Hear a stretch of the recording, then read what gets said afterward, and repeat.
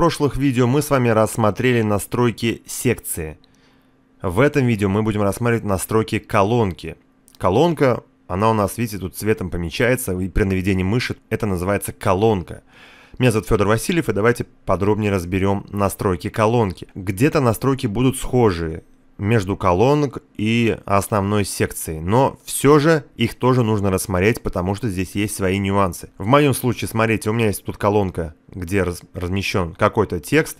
И, видите, при наведении мыши тоже есть колонка. Здесь у меня размещено изображение дефолтное. Мы можем перейти в любую из колонок, настройки у них идентичны, и посмотреть, что там имеется, то есть какая гибкость, какая функциональность. То есть, понятное дело, при наведении мыши здесь есть вот этот значок, это дубликат, это и так понятно, плюс это добавить, вот добавилось новое, и по крестику удалить колонку.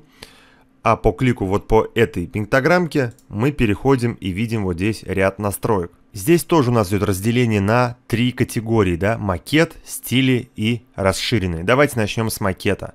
Первая ширина колонки в процентах и поле пустое. То есть у нас сейчас они делятся как бы пополам. То есть 50 на 50. Смотрите, если я здесь делаю 40, то она становится 40 и автоматически к этой колонке, если мы перейдем в настройки, видите, прописывается 60. Соответственно, она шире становится, а вот эта колонка уже.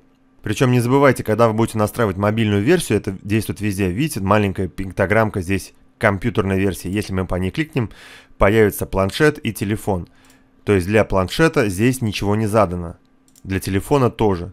Соответственно, если надо будет менять размеры, то придется в каждой версии делать размеры. То есть вот для телефона сейчас я сделал 10.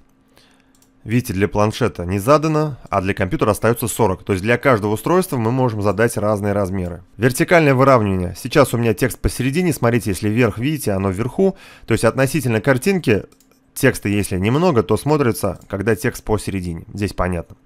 Горизонтальное выравнивание то же самое, только это выравнивание по горизонтали. Отступ виджетов 20 пикселей. 20 это у нас по умолчанию. Далее HTML тег, об этом я говорил ранее, да, это что-то вроде микроразметки. То есть непосредственно колонку можно разметить, если это нужно. Вот он, в принципе, весь макет. Переходим в стили. То есть какие-то настройки я буду пропускать идентично настройкам секции, просто они одинаково действуют и объяснять одно и то же из пустого в порожное, я думаю, нет смысла переливать. Поэтому здесь у нас, смотрите, цвет, это понятное дело, это заливка только колонки. То же самое градиент, вы видите, настройки все идентичные, ничего нового здесь нет. То же самое, что я рассказывал для секции.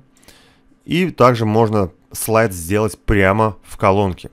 То есть это я объяснять не буду. Также можно сделать при наведении разницу.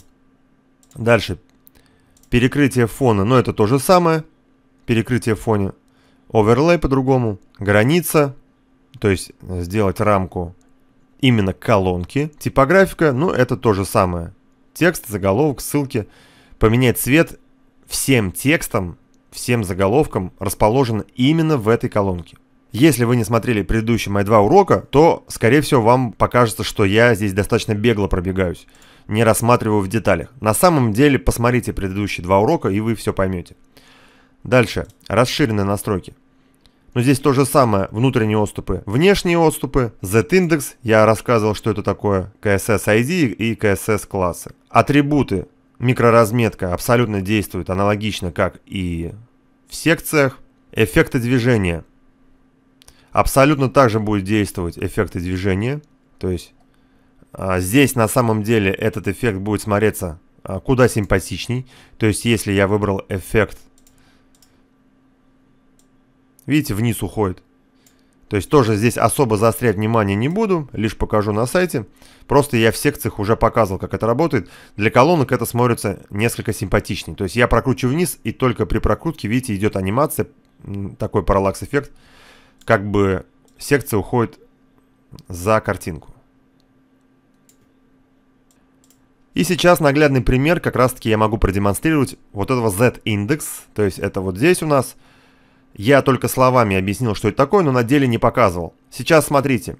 У нас эта ячейка, эта колонка, она уходит за бэкграунд, за нижний. Если я поставлю здесь одну девятку, видите, что происходит? То есть она становится поверх всего. Вот сейчас вы видите, она заходит за картинку, обновимся. Сейчас оно поверх. То есть это очень гибко. Если это нужно сделать так, вот зачем нужен Z-индекс. Ко всему прочему, к этому к этой анимации вы можете еще подключить маус-анимацию. Например, есть 3D. Смотрите, я двигаю мышкой, и просто магия происходит волшебная. При прокрутке, смотрите, она опускается вниз. И плюс еще, когда я рядом мышкой вожу, происходит такая некая анимация. 3D анимация. Здесь можно усилить изгибы. Видите, происходит просто что-то шедевральное. И есть а, в другую сторону как бы движется. Давайте посмотрим, как это будет на сайте. То есть, ну, это достаточно сильно гнется. Можно поменьше сделать. И плюс она еще и движется, видите, вот так. То есть, достаточно э, смотрится симпатично, стильно, круто. И у нас с вами здесь остается адаптивность. То есть скрыть на телефоне, если нужно именно эту колонку и все, что в ней находится, на планшете или на компьютере скрыть. Ну и кастом CSS произвольный стиль. В принципе, все я рассказал о колонке. Это в каждой колонке можно производить такие настройки. Настройки идентичны. Урок получился небольшой. И давайте в этот урок включим еще несколько слов о вот этих вот нижних кнопках. Отдельный урок записывать я не думаю, так как здесь информации совсем мало. То есть вот эта настройка, вы уже в принципе знакомы, я не раз об этом говорил, что здесь такое, настройки, да. Здесь есть навигация, вот эта вот полезная штука, смотрите, видите, я мышкой перемещаю, я вообще предлагаю вот это окно, его можно закрепить здесь. Например, вот сюда вот я его просто к краю браузера подтягиваю, видите, и светится синяя полоса. Отпускаю мышь, и теперь всегда будет прилеплена вот такая здесь навигация. Что это за навигация? Это на самом деле все, что находится на странице, здесь будет удобный доступ. То есть вот так можно разворачивать и смотреть. То есть это все, что сейчас у меня есть вот на данной странице, где я нахожусь в настройках, вот в редактировании страницы. Видите, можно даже вот так перемещаться. То есть смотрите, можно вот так вот развернуть. Видно, что здесь заголовок, текстовый блок. То есть смотрите, вот так глазиком, кликнуть по глазику можно временно, видите, вообще отключить в режиме редактирования, если мешает, а, например, целиком блок. Или отключить вот так всю секцию. Вот так вот, видите, отключается. Эта навигация очень полезна, когда у вас на странице очень много инструментов. То есть вы очень быстро можете перейти в режим редактирования. То есть просто я кликнул мышкой два раза по картинке и перешел выйти в настройки данной картинки. Или всю структуру можно развернуть вот так вот по этой стрелке. Вот так вот, видите, разворачивается. Полезная кнопка «История» откатываться до предыдущих изменений. То есть верхний это самое последнее. Например, просто мышкой кликаю и смотрим изменения, то есть какие я сделал. Вот, например, Z-индекс отключил. Видите, пропала заливка. То есть это я переключился до того момента, когда я еще не залил колонку. Если я переключусь выше, она вот опять залита. То есть вот так вот действует история. Макеты, понятно, переключение на планшет на мобильную версию, чтобы настроить для каждого устройства, чтобы на каждом устройстве красиво отображался сайт. Ну и глазик – это предпросмотр страницы. Ну и кнопка «Обновить», и рядом есть стрелочка. По клику по стрелочке разворачивается «Сохранить черновик» и «Сохранить как шаблон». Вот про сохранить как шаблон, черновик, понятное дело, что это такое. Про шаблоны мы будем говорить в следующих видео. Если вас плагин Elementor Pro заинтересовал, то вы можете купить его по ссылке в описании прямо под этим видео, таким образом поддержав меня. На этом данное видео закончено и увидимся в следующих видео.